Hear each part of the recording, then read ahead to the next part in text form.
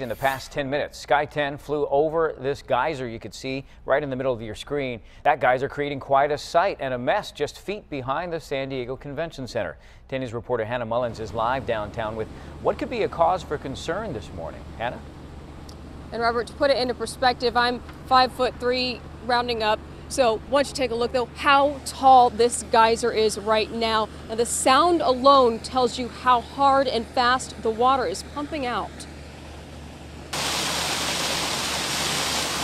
Now, when we pulled up about 45 minutes ago, water was shooting straight into the air. In fact, it has been for the past three hours, and the street is soaked.